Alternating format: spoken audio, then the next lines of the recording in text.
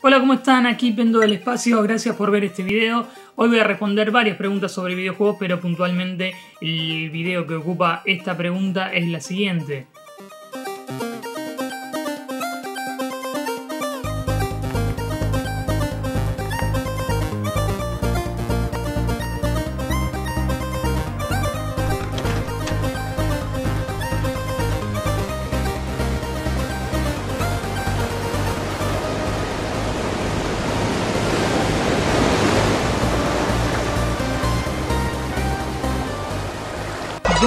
Gon Estebeg, que no sé bien cómo se pronuncia Gon, eh, así que después déjame un comentario, pero no sé si es Estebek o Estebek. Encima tenés un, bonito, una bonita tipografía en tu, en tu nick, por lo cual de, pedo me re- recordé que te llamabas Gon, eh, Estebek o Estebek.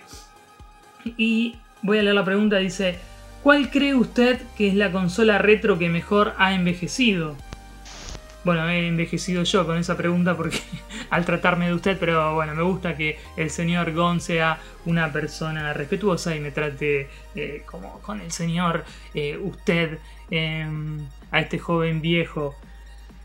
¿Cuál cree usted que es la consola retro que mejor ha envejecido? Bueno, si hablamos técnicamente, o sea, a nivel hardware de consolas, me parece, creo yo, que la una de las mejores consolas, si no la más, que mejor ha envejecido es Super Famicom Super Nintendo, la consola de los 16 bits de Nintendo. Eh, me parece que hoy, hoy en día es una consola eh, que tiene un catálogo de juegos y en este- entre esos juegos, juegos muy eh, geniales o técnicamente que explotaban el, el hardware de la consola. En el caso, por ejemplo, de la trilogía Donkey Kong Country, el Yoshi's Island, o sea, Super Mario World 2. Y mm, bueno, algunos otros como, no sé, Mickey Mania, que también salieron en diferentes plataformas, es decir, tipo salieron los 16 bits de Sega y en los 16 bits de Nintendo simultáneamente. Pero creo que el aspecto gráfico en la consola de Nintendo siempre estaba un poquito mejor. No siempre, porque hay unos grandes juegos, sobre todo los de Virgin, que tienen a lo mejor mejores gráficos y mejores melodías o bandas sonoras en los juegos de Sega. Eh, al menos así lo veo un poco yo. Eh, pero volviendo a la, a la pregunta, creo que es la que mejor ha envejecido. Eh, tiene, mm, como decía, grandes conversiones. No, no lo decía antes, pero tiene grandes juegos. Y entre esos grandes conversiones de recreativas, de arcades en la consola. Entonces uno, por ejemplo, puede decir, bueno, voy a jugar Street Fighter 2. Quizás eh, o Super Street Fighter 2, quizás la mejor consola para jugarla hoy en día, la mejor consola hogareña retro, sea la Super Famicom. Vuelvo a decir que no soy un fanboy de Nintendo, ni tampoco soy un fanboy de Sega, ni de PlayStation, ni de Xbox, ni ninguna compañía. A mí me gusta el videojuego en todas sus magnitudes.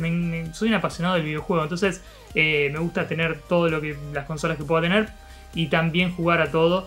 Por lo cual no quiero, por responder esta pregunta sobre Super Nintendo, no quiero decir que soy un fan absoluto de Nintendo. A mí también me encanta Sega, me encanta Sonic. Tiene una cantidad de juegos eh, Sega que también podría considerarse como una consola que ha envejecido muy bien. Pero nuevamente para mí Super Nintendo, Super Famicom es la consola eh, retro que mejor ha envejecido. Ahora, si llevamos la pregunta para el lado no técnico, es decir, como el emblema del videojuego, una consola, de- voy a reformularla, sería a la pregunta, sería ¿cuál cree usted que es la consola más representativa de retro, más representativa? Podría ser eh, los 8 bits de Nintendo también, eh, porque por ejemplo juegos como Super Mario Bros., Super Mario Bros. 3 eh, son grandes clásicos y mm, si uno dice voy a jugar un Super Mario, generalmente está hablando, digo, uno dice cuando una persona que no está nacida al mundo del videojuego tiene un contacto con Super Mario, cree o recuerda mucho más, yo creo, eh, el Super Mario Bros. 2 de Famicom o de NES que las siguientes aventuras de- del fontanero en los 16 bits de Nintendo. Y ahí sí, en el emblema, me parece emblemáticamente los 8 bits de Nintendo, incluso más que los 8 bits de Sega en este caso con Master System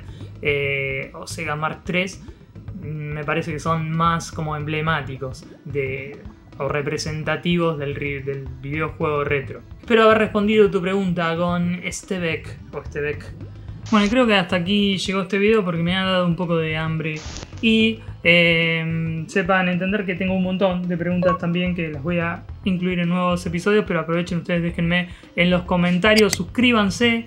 Eh, a Anacro Games, así les llegan las notificaciones de cuando bueno respondo o hago los nuevos videos de la Anacro Game Responde. Y también eh, recuerden que me pueden ayudar, colaborar eh, con un cafecito, aquellos que están en Argentina.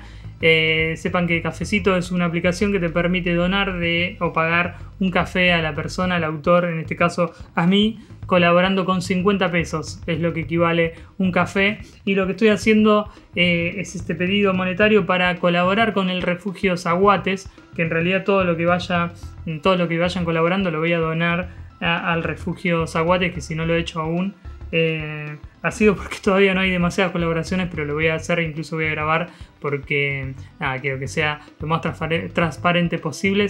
Así que todo lo que ustedes puedan donarme en cafecito, pongan cafecito.app barra anacrogames, va a ir destinado a Zaguates Refugio, es un refugio de animales que se encarga de eh, rescatar perros y gatos de la calle y la idea es ayudarlos y a mí me ayudan con la, con, la idea de este, brindándome una especie de cafeína virtual que me ayuda a seguir haciendo estos videos.